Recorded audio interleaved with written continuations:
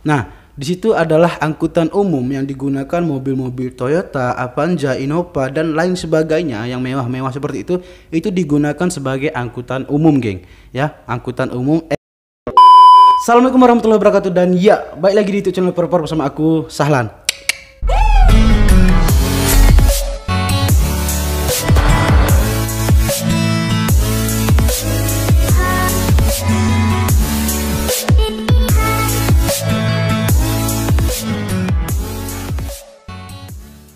Nah so guys jadi apa kabar semua hari ini Indonesia, Malaysia dari Sabang sampai Merauke Siapa pun kalian menonton video ini salam harap hal keadaan sehat dan baik-baik saja tentunya Dan terima kasih juga aku ucapkan pada kalian semuanya sudah menonton dan klik view video aku dan di video kali ini sesuai dengan judul ya yang mana di konten-konten aku adalah konten-konten reaction gitu ya. Nah, jadi di video kali ini ada sahabat dari Indonesia maupun dari negara Malaysia langsung mendm aku ke Instagram guys. Nah, jadi setelah aku klik linknya ternyata ini adalah salah satu video yang dari salah satu channel yaitu Jaka Medo ya dari Abang Dah Jaka Medo yang mana membuat sebuah video yang berjudul ini alasannya kenapa mobil ini di Malaysia tak laku gitu ya. Jadi istilahnya tidak laku untuk diperjualbelikan gitu ya kereta mobil Malaysia gitu. Nah, jadi aku juga merasa penasaran seperti apa sih video yang dibuat oleh Abang Jaka Medo ini dan aku ingin sekali teruntuk membahas video ini gitu karena ini adalah salah satu info yang menarik menurut aku. Nah, jadi aku saranin kepada teman-teman semuanya yang baru singgah di channel ini, please ya, BDW gua nggak ada ingin memperbanding-bandingkan antara Indonesia dan negara Malaysia gitu. Jadi di sini gua sebagai konten kreator hanya ingin memperkembangluaskan ya, mempertunjukkan kepada seluruh dunia bagaimana perkembangan atau bagaimana uh, kemajuan negara jiran kita yaitu negara Malaysia gitu ya. Jadi gua sebagai rakyat Indonesia tidak ada salahnya untuk saling mengetahui atau saling ingin lebih dalam mengetahui bagaimana informasi negara jiran kita gitu. Karena kita ketahui bahwasanya Indonesia dan negara Malaysia ini seperti kakak beradik, geng. Jadi lebih berhak dong kita sebagai rakyat Indonesia lebih berhak untuk bagaimana mengetahui perkembangan negara-negara Malaysia gitu. Dan begitu pula sebaliknya gitu. Negara jiran Malaysia kita lebih berhak untuk mengetahui bagaimana perkembangan yang ada di Indonesia gitu. Kita ribut atau bermacam-macam komentar yang enggak-enggak itu itu itu hanya berlaku di media sosial gitu. Ribut gitu itu hanya di media sosial gitu. Tapi kalau memang uh, kalian menganggap aku salah, perkataanku ada salah, itu tergantung kembali kepada diri kita masing-masing. Bagaimana menanggapi dan menyikapi sebuah suatu hal yang kita lihat gitu ya. Jadi komentar yang enggak-enggak itu ya bagi gua itu udah biasa dan dicaci maki itu di komentar itu gua udah biasa, geng. Nah, jadi kita balik ke topik pembahasan kita yang mana mobil-mobil di negara Malaysia ini tidak laku katanya gitu ya. Jadi aku juga merasa penasaran seperti apa sih videonya gitu ya. Nah jadi sebelum kita react videonya bagi kalian yang baru singgah channel ini jangan lupa klik tombol subscribe terlebih dahulu untuk membangun channel ini dan membuat Sahlan lebih bersemangat lagi. Terima kasih, geng. Oke, jadi seperti biasa kita hitung mundur 3, 2, 1, let's go. We, we go. Assalamualaikum semua, semangat ya. tengah hari. Waalaikumsalam warahmatullahi wabarakatuh. Hari ini saya tertarik untuk melihat-lihat lebih dekat tentang salah ya. satu produk Toyota ini yang salah satu Malaysia, produk Toyota. Tapi tidak begitu laku nih guys. Tapi, tapi tidak begitu laku. Toyota, Toyota, iya iya iya. Rajin dia hari Minggu kerja nih guys, baru balik kerja nih ya. Wih, rajin. Wih, okay, banyaknya segitu, banyaknya mobil pakai tuh. Hah? Pisang goreng loh laris manis seperti pisang goreng. Oke. Okay. Bahkan bahkan anaknya Presiden Jokowi pun masih punya kereta ini, masih menyimpan ini. Walaupun koleksi iya. mobilnya itu banyak, ada Pajero, uh -uh. ada semua, ada yang mahal-mahal. Anaknya Presiden ya. Oke, okay, tunggu sebentar. Di uh, beliau mengatakan bahwasanya anak Presiden Jokowi Dodo pun masih menyimpan mobil yang seperti ini, walaupun anak Presiden Jokowi koleksi-koleksi mobil-mobil yang lebih mewah lagi ternyata anak Bapak Jokowi juga Presiden Joko Widodo masih menyimpan mobil mobil koleksi yang seperti ini gitu. Tapi BDW gua nggak tahu aslinya itu apakah memang benar atau enggak. Nanti gua riset di Google lah apakah benar anak Presiden Joko Widodo menyimpan atau masih mengkoleksi mobil yang seperti ini gitu. Oke, kita lanjut lagi. Boom. Begitu juga dengan salah satu yang punya channel yang khusus mereview mobil salah satu YouTuber Indonesia yaitu Ridwan Hanif kalau kalau tidak salah itu juga masih menyimpan ya, kereta Ridwan ini Hanif. karena kereta ini sangat sesuai di Indonesia. Ya. Tapi kenapa di Malaysia ya. tidak begitu diminati? Ini yang biru ya? di Malaysia tidak begitu diminati. Oke. Okay. Nanti aku akan bahas video ini. Nanti aku akan bahas. BDW kalian tonton sampai habis ya.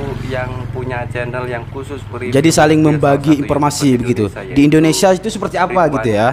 Kalau kalau tidak salah itu juga masih menyimpan Oke, okay, jadi bagi kalian yang mau tonton video aslinya nanti aku sediakan link di dalam deskripsi aku. Di Malaysia tidak begitu diminati nih, guys. Sebelumnya saya ucapkan dulu terima kasih yang sudah menonton video ini Terima kasih yang sudah selalu support Terima kasih yang sudah subscribe Bagi yang belum boleh boleh subscribe sekarang Aktifkan juga notifikasinya Karena subscribe itu gratis okay. guys Oke okay. Ya bagi yang tahu alasannya uh, mungkin ada yang Toyota mungkin Avanza orang Malaysia yang Oke okay, tunggu sebentar Tunggu sebentar Jadi aku ingin membahas Di sini setelah aku amati ini Toyota Avanza gitu. Kalau di Indonesia ini adalah suatu mobil yang digunakan untuk alat transportasi untuk ke suatu tempat gitu. Bisa dikatakan ini adalah mobil angkutan, angkutan elit kalau di Indonesia gitu. Dan banyak sekali digunakan oleh para-para yang sudah berumah tangga ya kan. Kalau yang masih lajang atau bujangan itu jarang sekali memakai mobil-mobil yang seperti ini gitu. Lebih memilih Honda Civic gitu ya lebih memilih ke lebih memilih mobil-mobil yang elit yang tahun lama. Contohnya itu seperti uh, mobil Honda Civic gitu ya daripada Toyotanya gitu.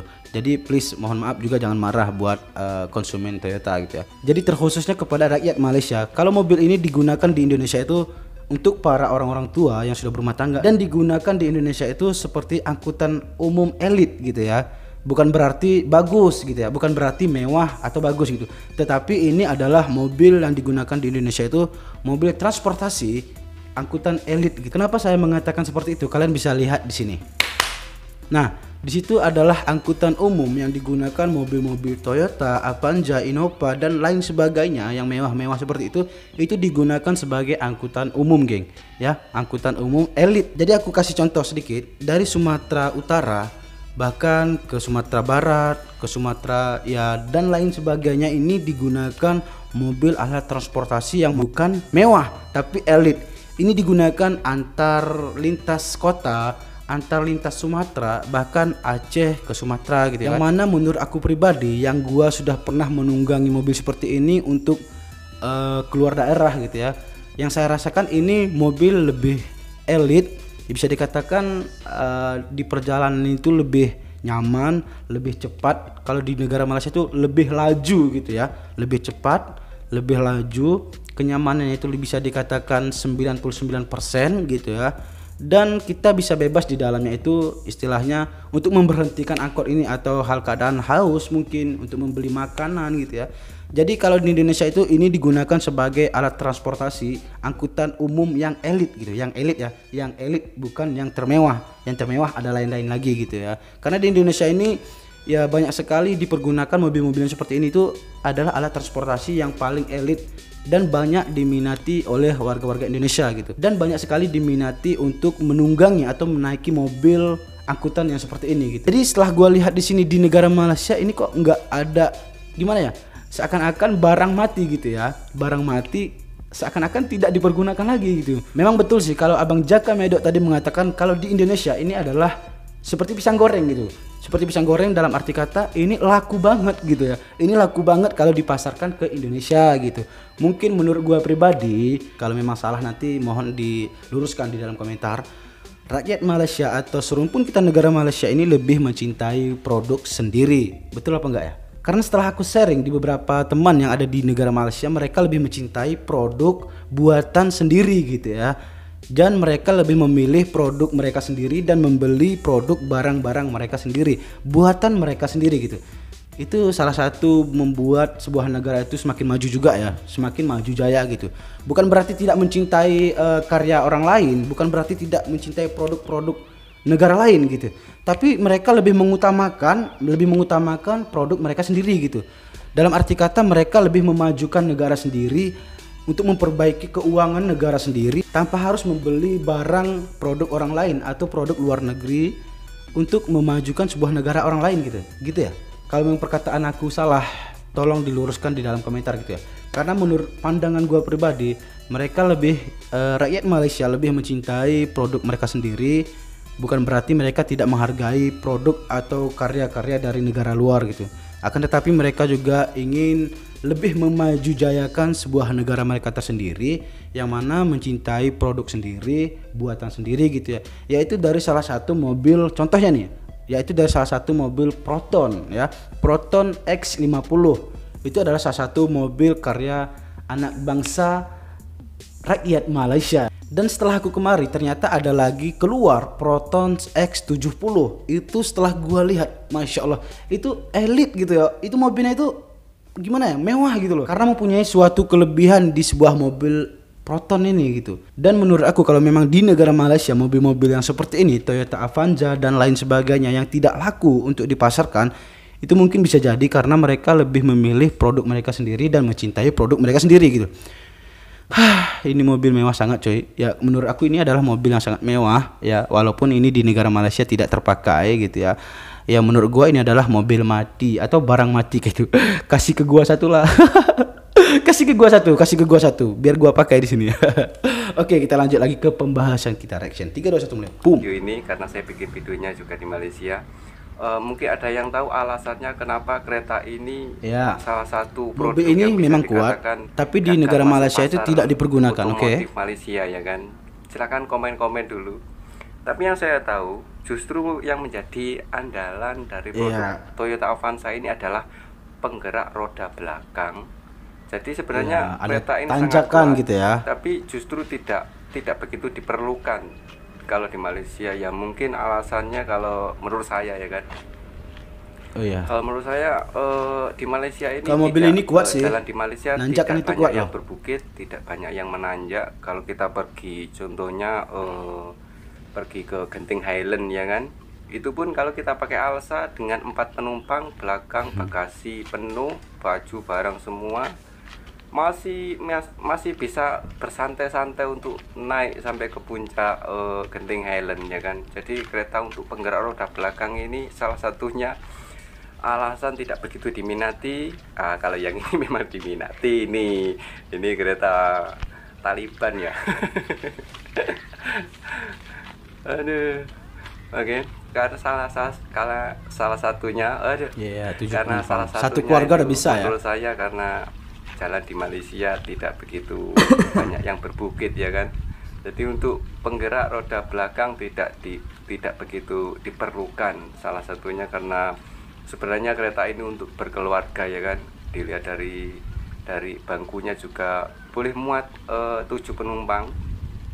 Itu salah satunya jalan di Malaysia ya. tidak begitu banyak bukit. Saya kasih ya. lihat. Betul kan yang gua bilang? itu dan alasan yang kedua mohon maaf iya, uh, iya. sales sales Toyota jangan marah. Karena memang seperti di depan saya ini ada Toyota Vios tidak begitu diminati juga lah masih masih kalah penjualannya daripada uh, dengan Honda City. Oke, mobil-mobil yang seperti ini tuh itu di Indonesia dijadikan sebuah angkutan umum elit coy. Seperti yang aku bahas di awal itu digunakan sebagai uh, bahan angkutan umum ya mobil angkot lah gitu ya mobil angkot elit gitu loh. Bukan berarti mewah bukan berarti mewah tapi elit. Yang lebih mewah dari sini lebih elit dari sini ada. Seperti yang aku bahas di awal video tadi ini adalah salah satu angkutan umum elit di Indonesia gitu loh. Tapi di negara Malaysia ini sangat tidak terpakai gitu. Jadi aku kasih ke gua satu lah kasih ke gua satu. Kredit lah kredit. Oke, lanjut lagi. Honda, Honda Civic ya kan yang lebih. Kalau menurut saya sih juga lebih lebih mewah. Honda Civic sih. Maaf untuk sales uh, Toyota. Nah, ini juga ada Toyota. Memang jarang sekali. Untuk yang pengeluaran terbaru pun kurang begitu orang beli. Kalau di Malaysia di Indonesia uh, banyak yang beli.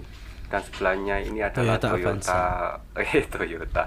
Ini adalah Alsa ini guys. Justru lebih lebih laris kalau di Malaysia padahal penggerak roda di Malaysia belakang. tidak begitu digunakan dan alasan cuy. salah satunya mungkin kalau menurut saya ya kan nanti kalian tambahkan sendiri di komen-komen hmm. kalau menurut saya memang apa ya ini produk Toyota Avanza dengan andalan penggerak roda belakang dia confident akan lebih lebih kuat sebenarnya tapi untuk di Malaysia karena tidak begitu banyak bukit dan alasan yang kedua kereta ini bagi saya mungkin anda juga setuju lah kereta ini mahal dari rival-rivalnya. Seperti yang kalau di Indonesia sudah keluar uh, Mitsubishi Expander Expander apa Expander ya? Expander ya. Dan uh, New Livina, ya, Nissan betul, New betul. Yang, yang lebih saya juga peminatnya sih. Mobil-mobil seperti ini tuh udah elit atau bagi juga aku di Indonesia gitu loh. R3 ya kan? Rival-rivalnya. Penjualan penjualan sudah mulai naik walaupun di Indonesia dan begitupun Iya. di Indonesia masih masih menempati hati hati yang terdalam untuk rakyat-rakyat Indonesia ini guys. Itu salah satunya. Karena di Malaysia apa namanya tidak tidak banyak bukit jalannya juga tidak begitu menanjak. Jadi untuk penggerak roda belakang tidak begitu diperlukan. Dan alasan yang kedua memang ini kalau menurut saya ini bedekut katanya coy produk yang Jadi nggak ada perubahan mahal, gitu. Mahal tapi kedekut. Fitur-fiturnya dari 2000 berapa? Pertama dikeluarkan 2000 kan 2002 ya kan? 2005 ya kan? 2005 sampai 2020 fiturnya modelnya juga begini-begini saja fiturnya juga begitu-begitu saja hanya facelift saja. Jadi mungkin kalau untuk di negara maju eh, tidak begitu diperlukan. Apalagi caranya juga tidak begitu banyak yang menanjak. Tapi ada yang ada salah satu komen yang cukup menggelitik tapi memang saya paksa anda untuk setuju ya kan produk Toyota ini kalau dijual lebih laku Iya, benar. atau mak- maksudnya gimana ya maksudnya harga jual itu lebih tinggi daripada produk-produk Mitsubishi atau Nissan sebagainya mungkin anda lebih Iya. lebih setuju dengan dengan ulasan saya kali ini ya kan oke kalau di Indonesia kalau di Indonesia eh, Toyota Toyota Avanza ini memang diminati nih guys. Begitu di- diminati ya karena aduh panas sekali guys. Ya karena eh, yang pertama jalan di Indonesia banyak bukit termasuk juga kalau kita pergi ke tempat-tempat tempat-tempat rekreasi tempat-tempat menarik ya kan? Banyak bukit ke puncak contohnya. Eh, ya Iya. mungkin karena penggerak roda belakang kereta ini dianggap sangat kuat memang Waalaikumsalam warahmatullahi wabarakatuh. Nah, video kita sampai di sini. Nah, memang betul ya karena Toyota Avanza di Indonesia itu sangat diminati dan salah satunya gua adalah peminatnya juga gitu kan. Tapi tidak kesampaian sampai saat ini gitu. Mudah-mudahan lah tahun nggak tahun ini tahun depan bisa kecapai lah ya.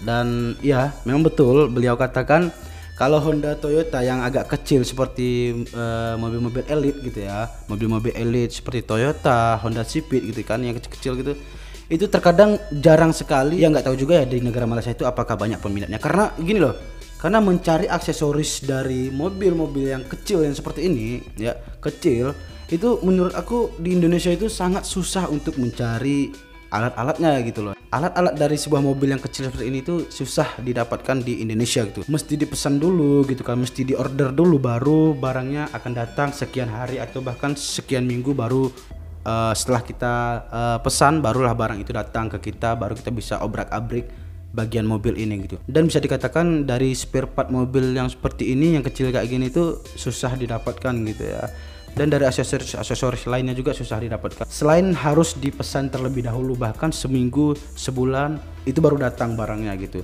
Jadi kalau ada kenapa-kenapa gitu entah rusak di bagian spare part tak mau ganti spare part gitu itu tidak bisa diburu langsung gitu. Kita harus pesan dulu barangnya ya otomatis mobilnya akan parkir di rumah gitu kan. Nah jadi di negara Malaysia mobil-mobil seperti ini itu tidak ya begitu diminati atau memang tidak dipakai atau gimana gitu ya. Tapi menurut pandangan gua tadi ini memang salah satu negara Malaysia atau rakyat-rakyat Malaysia semuanya itu lebih mencintai produk sendiri, lebih eh, suka membeli produk-produk sendiri, karya-karya anak bangsa mereka gitu kan. Jadi BDW di sini aku nggak ada niat untuk membandingkan Indonesia dan negara Malaysia gitu. Hanya ingin penonton dari Indonesia berkomentar dalam video ini dan penonton dari negara Malaysia berkomentar dalam video ini. Jadi saling mengeratkan ikatan tali silaturahmi begitu. Nah, jadi ya selebihnya itu Allahu a'lam, Allah lah yang tahu isi hati kita semuanya apa maksud dan tujuan kita gitu. Tidak ada maksud untuk memecahkan persaudaraan ikatan tali silaturahmi Indonesia dan negara Malaysia. So jadi eh, selain harap sampai di sini video ini kalian sudah paham di Indonesia ini mobil yang seperti ini digunakan untuk apa dan di negara Malaysia ini mobil seperti ini seperti apa gitu ya. Ya benar juga sih yang beliau katakan kalau di Indonesia mobil-mobil seperti ini udah macam goreng pisang, berebut gitu geng, berebut. Bahkan gua adalah salah satu peminat mobilnya seperti ini gitu. So jadi buat rakyat Malaysia atau buat negara Malaysia semoga semakin jaya, semakin jaya jaya jaya. Ya amin gitu ya. dan doakan juga kami rakyat Indonesia semoga Indonesia juga bisa berkembang semakin lebih pesat sama-sama maju sama-sama naik mereka boleh bilang apa tak ada kan tak ada kan? Oke jadi saya salah harga di sini untuk mengakhiri video ini. Jadi salah harap uh, teman-teman dari Indonesia maupun dari negara Malaysia paham seperti apa penjelasan aku di awal tadi. Semoga teman-teman bisa memahami ya mengerti dengan video yang kita bahas ini gitu loh. Oke jadi saya salah di sini untuk mundurkan diri lebih dan kurang salam minta maaf. Jadi bagi kalian yang baru singgah di channel ini jika kalian suka dengan video ini kalian bisa like. Jika kalian tidak suka kalian bisa dislike juga. Jangan lupa like, comment, subscribe, share video ini ke media-media sosial kalian agar teman-teman kalian tahu apa yang kalian ketahui. Saya Salam, mohon pamit. Assalamualaikum warahmatullahi wabarakatuh. Next video. Bye bye.